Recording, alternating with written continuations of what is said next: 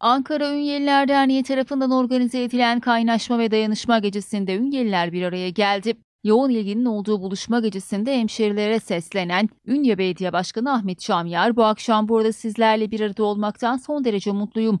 Mesafeler uzak olsa da bizler aslında birbirimize çok yakınız. Bizleri birbirimize yakın eden sevgi ve hasret duygularımız dostluk bağımızdır. Gönüllerimizi bir arada tutan şey doğup büyüdüğümüz topraklardaki kültürümüzdür. Bizler göreve geldiğimiz günden bugüne vatandaşlarımızla aramızdaki bağı hiç koparmadık. Seçimden seçime halkın karşısına çıkmanın tabularını yıkarak bulduğumuz her fırsatta vatandaşlarımızla bir araya gelmeye özen gösterdik dedi. Konuşmaların ardından Belediye Başkanı Ahmet Çamyar, Ünye Belediyesi'nin 2 yıllık çalışmalarının yer aldığı bir sunum gerçekleştirdi.